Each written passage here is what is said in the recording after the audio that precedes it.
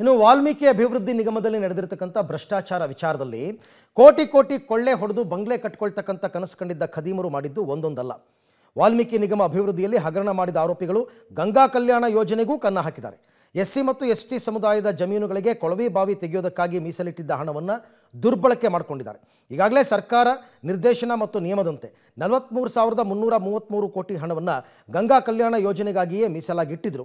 ಆದರೆ ವಾಲ್ಮೀಕಿ ನಿಗಮದ M D Padmanabha ಅಣತೆಯ ಮೇರೆಗೆ ಟ್ರೆಜರಿಯ ಅಧಿಕಾರಿಗಳು ಈಗ ನಲವತ್ತ್ಮೂರು ಕೋಟಿ ಹಣವನ್ನು ಕೂಡ ಯೂನಿಯನ್ ಬ್ಯಾಂಕ್ಗೆ ವರ್ಗಾವಣೆ ಮಾಡಿದ್ದಾರೆ.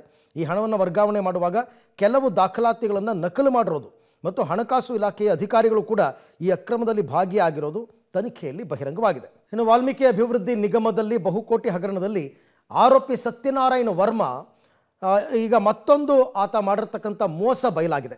ಐಷಾರಾಮಿ ಕಾರುಗಳಾದ ಲ್ಯಾಂಬೋರ್ಗಿನಿ ಫೋರ್ಷೆ ಖರೀದಿ ಮಾಡಿಲ್ಲ.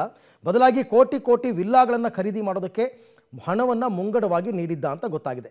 ಸತ್ಯನಾರಾಯಣ ವರ್ಮ ಅಪಾರ್ಟ್ಮೆಂಟ್ ಖರೀದಿ ಮಾಡೋದಕ್ಕೆ ಹಣ ಕೊಟ್ಟಿದ್ದರು ಹೈದರಾಬಾದ್ನಲ್ಲಿ ಬರೋಬ್ಬರಿ ಮೂರುವರೆ ಕೋಟಿ ಹಣವನ್ನು ಕೊಟ್ಟಿದ್ದರಂತೆ ಸದ್ಯ ಎಸ್ ಐ ಟಿ ಅಧಿಕಾರಿಗಳು ಆ ಹಣವನ್ನು ಹೈದರಾಬಾದ್ನಲ್ಲಿ ಅಪಾರ್ಟ್ಮೆಂಟ್ ಮಾಲೀಕರ ಬಳಿಯಿಂದ ತಮ್ಮ ವಶಕ್ಕೆ ಪಡೆದಿದ್ದಾರೆ.